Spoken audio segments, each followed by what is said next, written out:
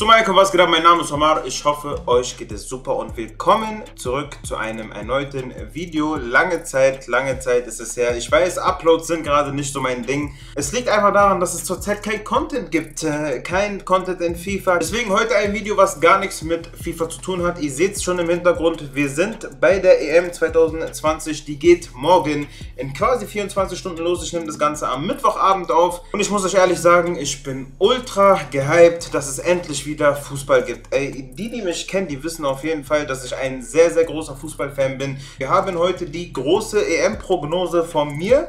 Ich werde jetzt das Ganze hier äh, mal vorrechnen, was ich denke. Ich sage auch zu jeder Mannschaft äh, was Kleines. Ich versuche das Video nicht so lange zu halten, äh, deswegen hoffe ich, dass ich das komplett schnell und kurz und knackig hinkriege. Und äh, wir fangen direkt an.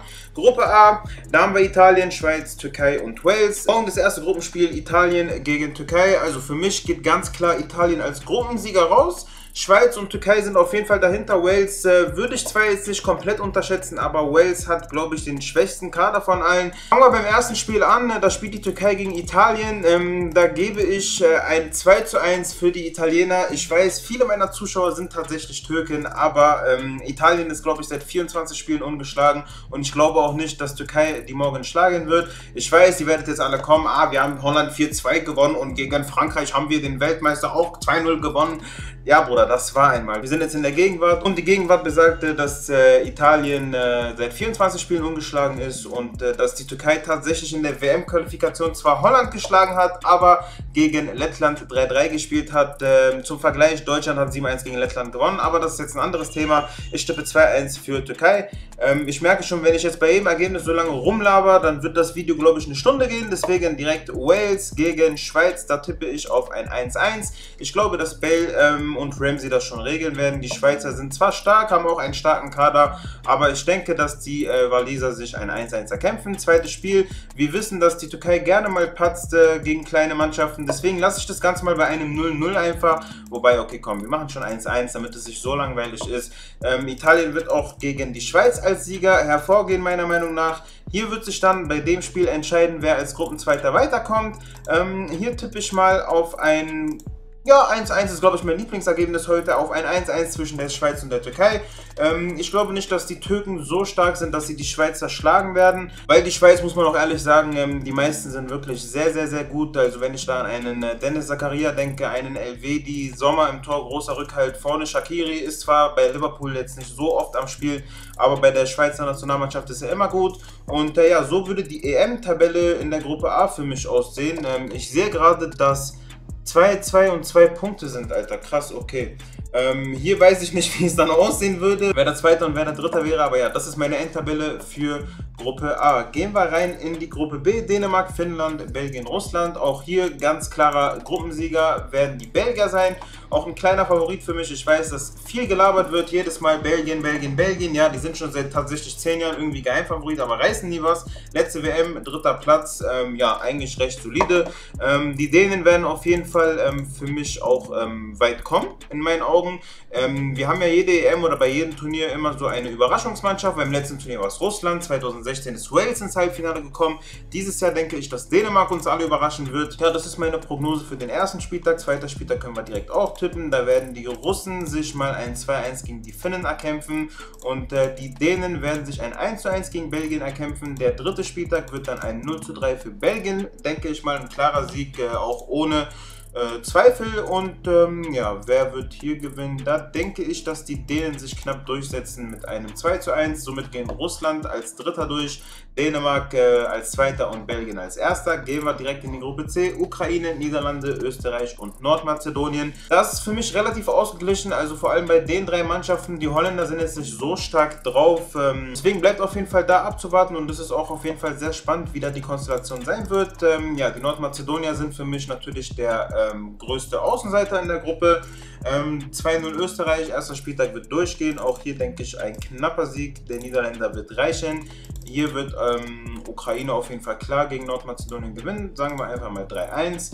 Ähm, Niederlande, Österreich tippe ich auf ein 1-1. Auch die Österreicher haben einen super Kader. Ähm, wenn ich so an Alaba denke, an Sabitzer, an äh, den Hoffenheimer da Baumgartner, Lazaro, die haben wirklich einen super Kader, deswegen denke ich auch, dass die Österreicher was reißen könnten.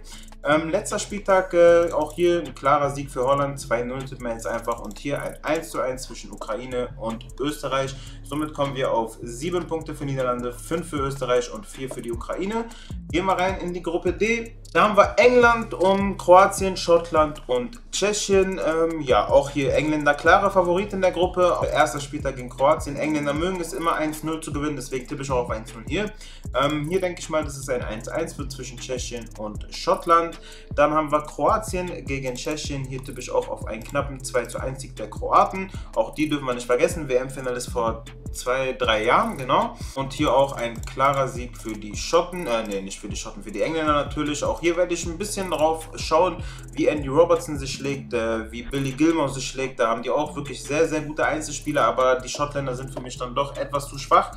Letzter Spieltag, ähm, ich glaube in der Qualifikation, wenn mich nicht alles täuscht, haben die Engländer die Tschechen 4 zu 0 geschlagen. Diesmal tippe ich auf ein 4 zu 1 und auch hier werden die Kroaten das ganz klar mit 3 zu 1 regeln. Somit haben wir England mit 9 Punkten, Kroatien mit 6, Tschechien und Schottland mit jeweils einem Punkt. Hier wird es auch nicht reichen, für Tschechien weiterzukommen.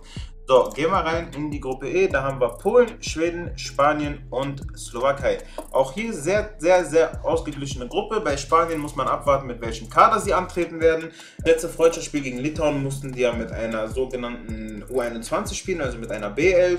Ähm, haben die aber trotzdem 4-0 gewonnen. Man musste halt abwarten, aber ich gehe mal jetzt davon aus, dass die erste Mannschaft bei Spanien mitspielt. Fangen wir erstmal an bei Polen gegen Slowakei. Hier tippe ich auf ein knappes 1-1. Ähm, Schweden auch da super Kader. Spanien, Schweden tippe ich auch auf einen knappen Sieg der Spanier. Dann haben wir hier Schweden gegen die Slowakei. Auch hier tippe ich auf ein 1-1. Ähm, Slowakei haben mit Duda, Hamschick äh, auch einen relativ guten Kader. Die meisten spielen in Europa, deswegen auch Slowakei eigentlich eine recht solide Truppe. Spanien gegen Polen. Ähm, die Polen mit Lewandowski, Milik, äh, Zielinski auch einen äh, sehr guten Kader, aber die Spieler kennt ihr ja alle. Da denke ich, dass die Polen ähm, auch ein 1-1 auf jeden Fall rausholen werden. Gehen wir rein ins letzte Spiel. Hier denke ich auf einen knappen 2 zu 1 Sieg für die Spanier. Ähm, Schweden, Polen, auch hier wird es wahrscheinlich ein Unentschieden, denke ich mal. Somit gehen wir mit ähm, zwei Punkten für die Schweden, drei Punkten für die Polen. Ähm, die Spanier mit sieben klarer äh, Favorit auf jeden Fall für mich in der Gruppe und Slowakei als letzter. Gehen wir rein in die letzte und somit spannendste Gruppe der ganzen EM. Gruppe F, Deutschland, Frankreich, Portugal, Ungarn. Also ja, sowas kannst du dir wirklich nicht ausdenken. Wir haben den Weltmeister von 2014, den Weltmeister von 2018 und den Europameister von 2016. Also eine härtere Gruppe kannst du einfach nicht treffen. Frankreich natürlich der Top-Favorit des ganzen Turniers. Ähm, ich persönlich sehe Deutschland äh, noch höher als, okay, nee, das wäre ein bisschen blöd, Digga, aber ich sehe Deutschland ein bisschen, bisschen schwächer als Frankreich, aber ich traue Deutschland auf jeden Fall den Titel zu. Ich werde auch die ganze EM für Deutschland sein, weil ich einfach die Spieler alle mag und weil ich das Team einfach gerne spielen sehe. Deswegen Deutschland für mich auch nach Frankreich der absolute Top-Favorit. In den Medien wird ja immer gesagt, der Deutschland ist nicht Favorit, aber für mich ganz klar nach Frankreich Top-Favorit Deutschland. So, erster Spieltag, äh, das wird ein 0 zu 2 für Portugal. Frankreich, Deutschland glaube ich trotzdem, dass die Franzosen das Ganze mit 2 zu 1 gewinnen. Dann haben wir Ungarn gegen Frankreich. Hier wird es ein 0 zu 3. Also Ungarn, ihr seht schon, das wird eine ganz klare Angelegenheit, dass die nicht weiterkommen. Portugal, Deutschland hier glaube ich an einen 2 zu 1 Sieg der Deutschen.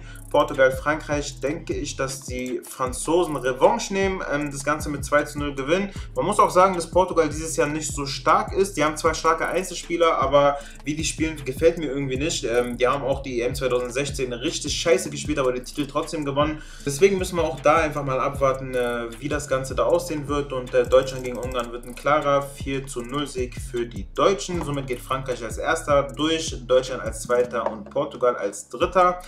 Und äh, ja, somit ergibt sich folgende Konstellation im Achtelfinale. Die ganzen Mannschaften kommen laut meinem Spielplan hier weiter. Ähm, da haben wir das erste Achtelfinale mit Frankreich gegen die Ukraine. Da, sollte die Fran da sollten die Franzosen kein Problem haben. 3 zu 1 für Frankreich. Polen gegen Kroatien.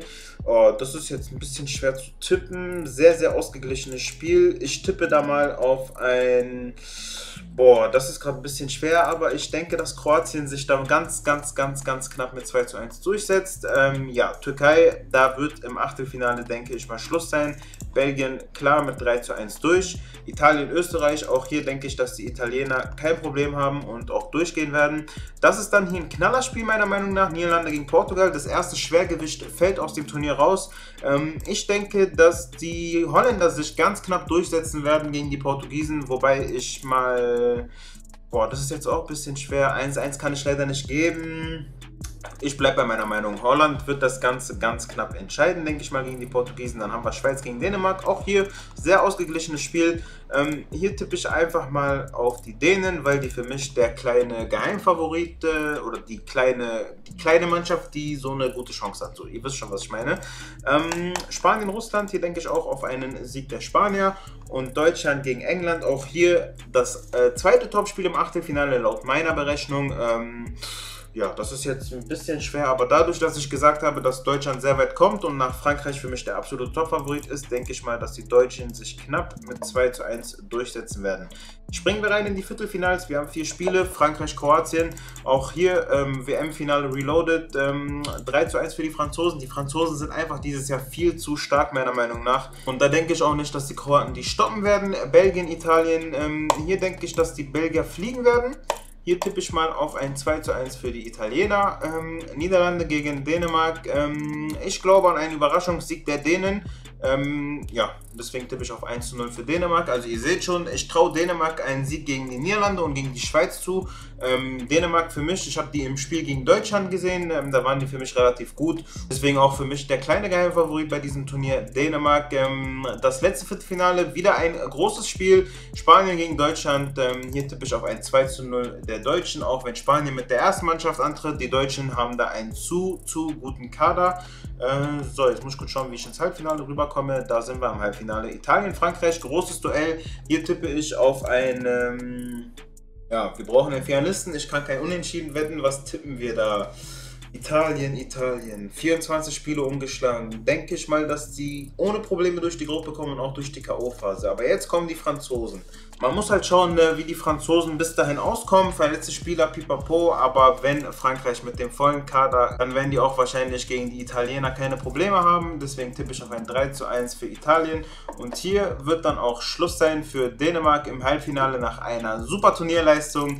Aber Deutschland wird das Ganze nochmal machen. Auch wenn die im Freundschaftsspiel 1-1 gespielt haben, denke ich, dass Deutschland mit 3 zu 1 gewinnen wird. Somit haben wir ein Finale zwischen Frankreich und Deutschland. Und auch hier werde ich kein Ergebnis mehr tippen. Für mich, Frankreich wäre in diesem Duell leicht favorisiert. Das Duell gab es dann schon mal in der Gruppe. Ich bin gespannt, wie das Ganze ausgeht, aber für mich ist das Finale Frankreich gegen Deutschland. Und das war dann meine EM-Prognose. Ging jetzt stolze 15 Minuten, wenn mich nicht alles täuscht. Also die ging schon ein bisschen länger. Wenn du noch bis hierhin dran warst, dann würde ich mich äh, sehr über ein Like freuen, über ein Abo. Wenn du das natürlich noch nicht gemacht hast. Äh, ansonsten schreibt mir gerne jetzt in die Kommentare, was eure EM-Prognose ist. Schreibt mir am besten rein, was ihr denkt, wer das Turnier gewinnen wird, wer ins Finale kommt. Äh, ich weiß, Türkei, ich habe euch schon ein bisschen enttäuscht, aber wenn Türkei wirklich gegen Belgien spielt, dann äh, müssen wir der Realität ins Auge sehen und äh, ja, da müssen wir auch ehrlich miteinander sein.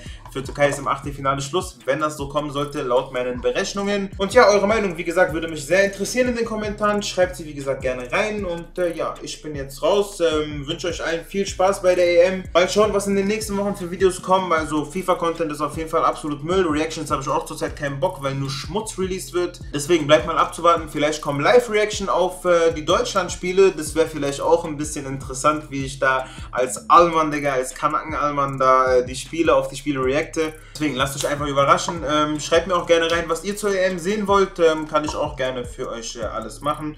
Wie gesagt, äh, mehr brauche ich nicht sagen. Ich bin jetzt raus. Äh, ich wünsche euch was. Peace.